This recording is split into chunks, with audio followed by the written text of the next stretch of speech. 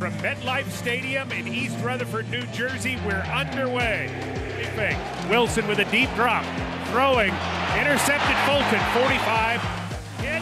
Sack! We have to just, as a group, be able to clean those things up, come together, and all execute and make plays. Tannehill fires for Batson. Touchdown Titans! Henry. Give Henry banging forward at left guard. Touchdown Titans! The only thing that matters is, is Sunday, what you do and perform on on game day. We'll lick the wounds, you know, get in there, watch film, um, you know, correct the mistakes, and you know, move on. Titan Up.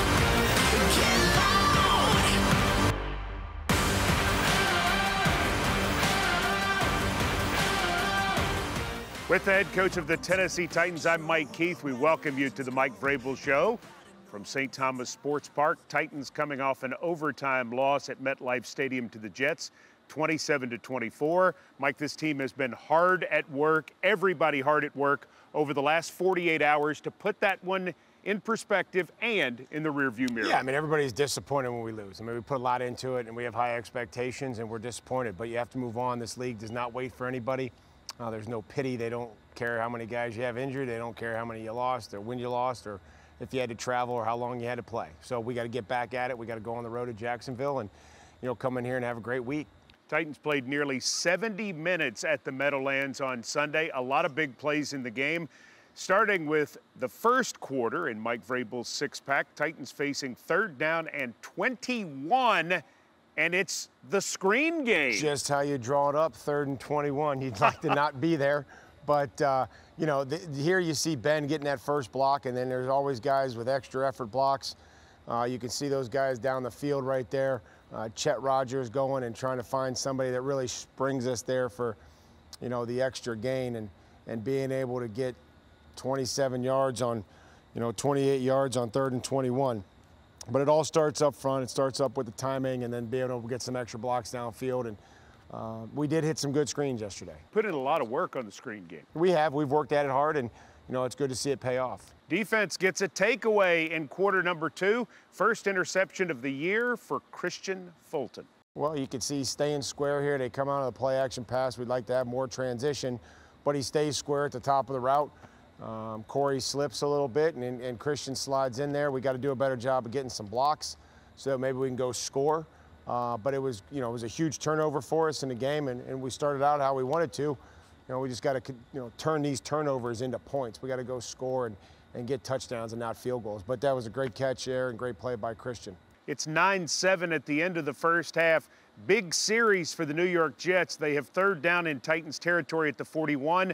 Big play for Harold Well, and they quick snapped us too. You know, they came out and they got on the ball and just pulled it, and you know, you could see us working the games and, and, and Harold being able to slither in there and, and doing a nice job. And there comes Ola and everybody else. So, you know, we were ready to go. We had them covered. Uh, we got the pressure that we needed, and it was a huge uh, momentum uh, builder for us to be able to to, to, to stop that, that poor special teams punt that we had. Uh, it was a sudden change. You know, they took it on, on our side of the field, and you know, we didn't give them any points and, and made them punt.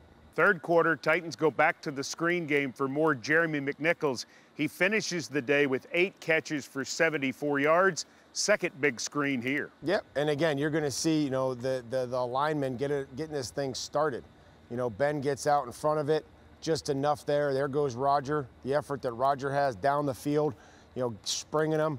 And, and again, that's those are huge plays for us. You know, we have to create some X plays, and you know, there's a great understanding when guys are blitzing. But there's the, the hugger, that hug rusher right there, that's coming on on Jeremy, and Ben gets enough of them right there uh, to get him back inside, and then get it back on his landmark where, where Roger's running, and we're trying to get extra blocks downfield. Titans fall behind as we go to the fourth quarter, 10 to 9. Sensational 75 yard drive to answer And who was leading the way? Well, of course, it was number 22, Yeah, it Derrick didn't Henry. take very long. We got on the ball. We hit some plays. Uh, that was a well-blocked play. You know, Derrick's into the second level. Um, you know, you can see there's there's not much action there in the hole. Guys are working, and we just finish here uh, and- and trying to finish longer than the guy with the ball. There's Brew getting Mosley, uh, and we get it down to the one. Next play, Titans going to put it in. Where else are you going to go? Well, you're going to go to Derrick Henry, of course. And Derrick Henry, who leads the NFL in rushing, is able to take it into the end zone. He is, and, and we get the big fella. You know, we go back on the ball, and, and the guys are able to get a push, and, and we're not going to be able to get them all. And Derrick's able to to kind of score and, and push the pile in there. And you know, I think he knew exactly where he needed to go and what he needed to do there from his demeanor. You know, downhill run is bread and butter for us here, and you know, uh, straight ahead, no fair dodging. Yeah, absolutely. Derrick Henry takes it in. Titans trail late in the game, 24 to 17. Defense does an outstanding job getting the ball back for the offense. The Titans drive down inside the five, and it's a pretty play to Batson. Well, I, I appreciate the, the execution, um, the, the, the scheme, you know, that we put together. You know, caught them off guard a little bit there, and, and, and Ryan and, and, and Cam executed. That's a difficult snap to get, just the timing of it. Uh, we got it set up, and, you know, we had practiced it throughout the week, and, and, and we were able to call on it on a critical situation. Cameron Batson's second catch of the year, his second career touchdown as well. In overtime, big play for the Jets. They have third and goal at the one. If they score, the game's over. Denico Autry says no. just the effort for him and the recognition to get out there and, and guys are running, you know, and, and to get us there, um, you know, to, to get it on the one, there was some great effort by some D linemen that were getting down there. And, you know, this capped it off and gave us an opportunity to, to keep playing. How do you balance those sorts of positives we saw with the, the disappointing result? Well, there's a lot. You know, what I mean, again, I told our football team like we're, we're, third in the league in, in first downs. We're, we're fifth in, in, in first downs allowed defensively. You know, we just have to not give up big plays, and we got to start scoring touchdowns. We get in the red zone. Uh, a lot of things in there. We started the game really how we wanted it. Ran a lot of plays, and they didn't run very many. And it was nine nothing. But you know, if we can get some touchdowns there, that, that really puts us in a, in a great situation. We'll come back and take a look at the Titans' next opponent, the Jacksonville Jaguars, when the Mike Vrabel Show continues after this.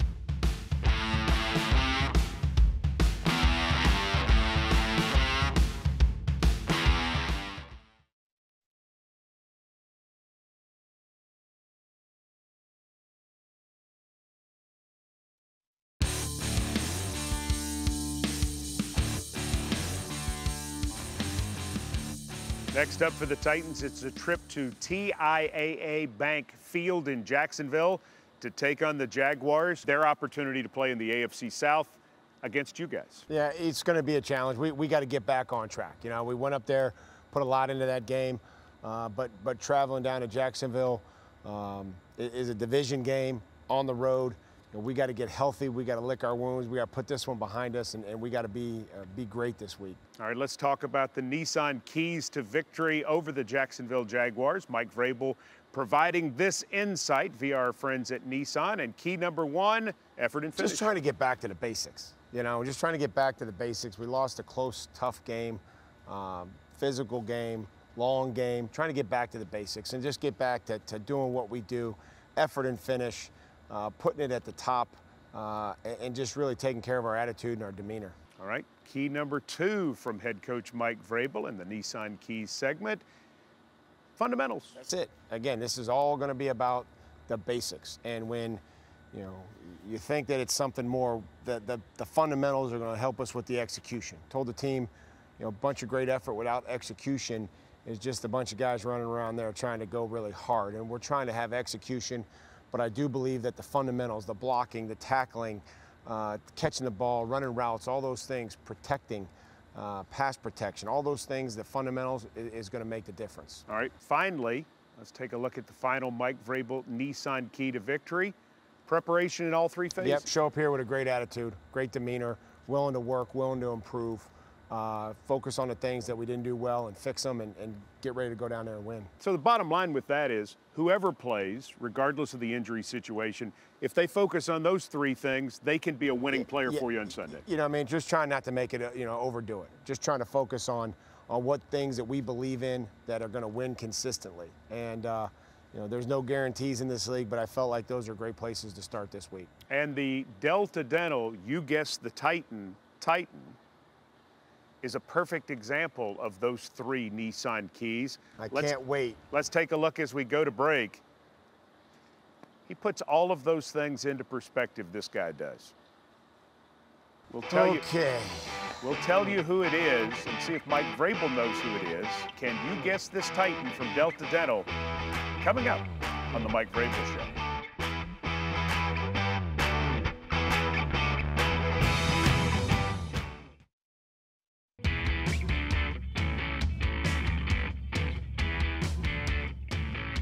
Delta Dental's Can You Guess This Titan for Mike Vrabel. He had some time during the break. I think, no, actually, I know that that beautiful smile is Denico Autry. Wow.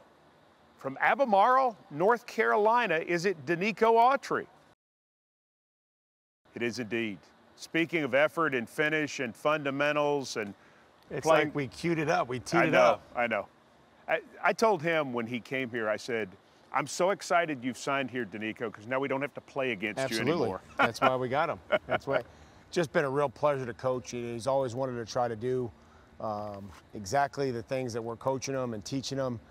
Uh, and, and I think he's just getting better. You know, I think he's just getting better. I mean, he's had really good games and he impacted some plays. And, and I think he's just going to keep getting better for us. And I, I think, I, I hope that he likes it here because we love having him here. Well, the thing about him, too, is that's a guy who had to work awfully hard to make it in the National Football League, and to see his success is special. I, I share uh, his story um, with, with our football team. You know, starting out in junior college at East Mississippi, going to Mississippi State, undrafted, Raiders to the to the Colts, and we're, we're glad we finally got him before uh, you know he finished his tour. Yeah, Denico Autry keep doing good things for the Tennessee Titans defense as the season moves on. When we come back, time for the Titans Files. Amy Wells standing by on the Mike Vrabel Show.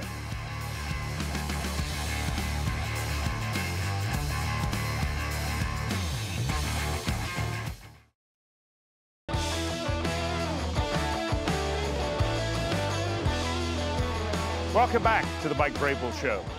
Coaches are often hard on the players that they expect the most out of. And when they're willing to compliment them, they know it's a job well done. Well, in this case of the Titans files, Amy Wells turns to a coach to talk about one of his star pupils, and he's thrilled to give the good words.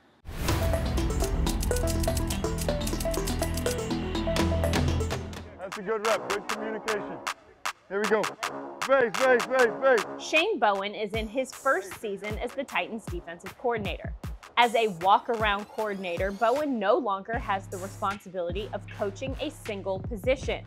But for the first three years on staff, Bowen was in charge of the outside linebackers. Better with that footwork yesterday, on that you.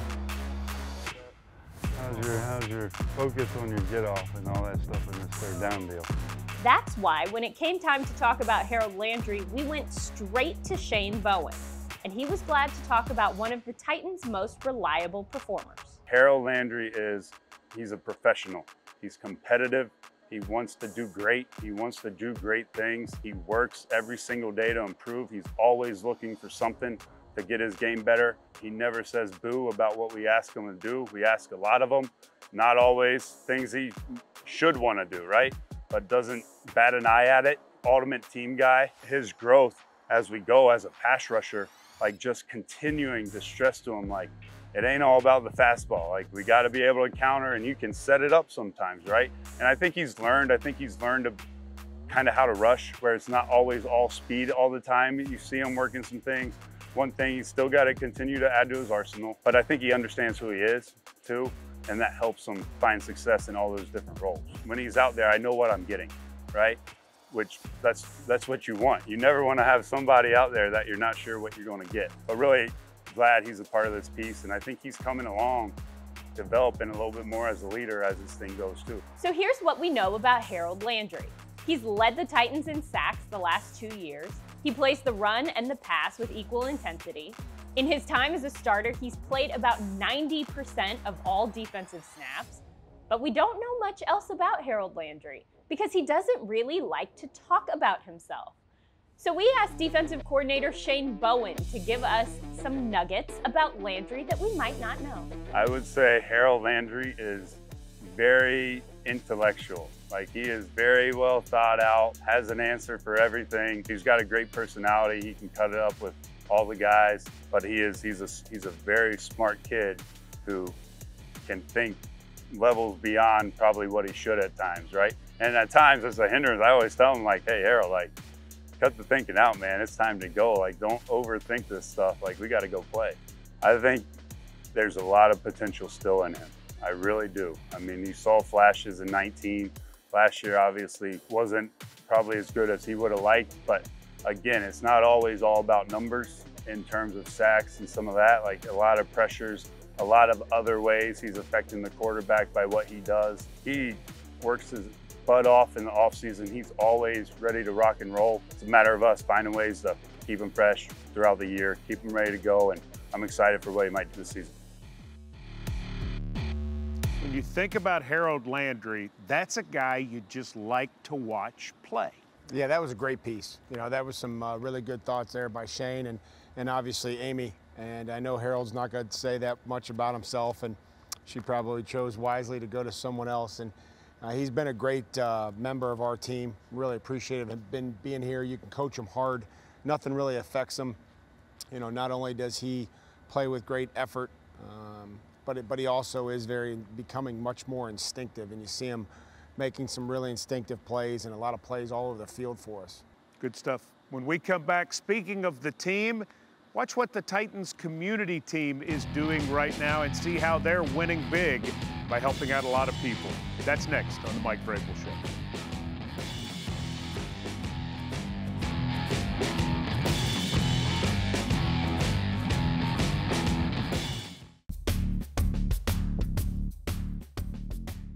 You may know a lot about the Titans football team, but you don't know a lot about the Titans community impact team. Well, this is a part of the organization that we're really proud of. And so meet the Titans community impact team in this Inside the Titans segment. I'm Tina Tuggle, Vice President of Community Impact for the Tennessee Titans. Josh Corey, I'm the Senior Manager of uh, Football Outreach and Community Impact. So uh, right out of college, I worked on the football side of the organization. So having grown up playing football my entire life, you know, I always kind of envisioned a career centered around sports and, and football and uh, just didn't know where my fit was until I was able, you, you know, to be a part of something bigger than myself that really makes a difference. One of the most valuable parts of the success we have in the Tennessee Titans community and the work that we do in the Community Impact Department is because of the extreme involvement from Amy Adams Strunk, our controlling owner. When you see everyone coming together, the Tennessee Titan family is there for you. You're going to see a lot of us doing what we can to ease your burden. She wants to make sure that when we are working to serve our neighbors, we're very intentional in the work that we do. Yeah, so here we are in Waverly looking around at some of the damage from the flood to their facilities, and uh, we're glad to be here today, even if we can play a small part in uh, getting uh, these kids back out on the field. And So when we learned about the devastating floods, we knew we had to do something. It's not that we're serving others, it's we're serving the members of our community because we're a part of that community. So as a Titans fan myself, it's really neat to see the organization like helping the community and of course helping the football program and everything that they're doing. And Waverly hosts White House at Nissan Stadium. End zone, touchdown, Tigers! What a high school football game. This is what Nashville does. is we, we help out our neighbors uh, who are in need, and we consider ourselves at the Titans to be leaders in this community. And so, as leaders in this community, uh, that requires that we, we lead in, in times of need. What happens to them, you know, happens to us. What's important to them is important to us. What, what affects them affects us. And so we have those very general things we do that everyone is familiar with, like the game day drives, feeding the homeless under the Jefferson Bridge when we partner with Bridge Ministries, the Habitat for Humanity, which is a great partner. But then there are also those areas that don't happen every day, but we know we can partner and make a difference in those spaces. Obviously, with my background, um, some of my favorites are the work that we do with youth of high school football across the state of Tennessee. All of you here, I'm a former high school coach, uh, so I've sat in those seats before. I know the struggles. and just being a part of the community that raised me. The way the Tennessee Titans have embraced the Tennessee community and the way the community embraces the Tennessee Titans is something that I will forever be proud and grateful to be a part of. That does it for this edition of the Mike Vrabel Show. Remember, Titans Jags Sunday at noon. We're on the air on 1045 The Zone and Titans radio stations beginning at 11 a.m. For the head coach Mike Vrabel, I'm Mike Keith. Thanks for joining us. Titan Up.